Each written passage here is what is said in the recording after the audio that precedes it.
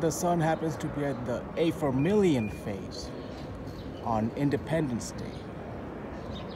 Very interesting.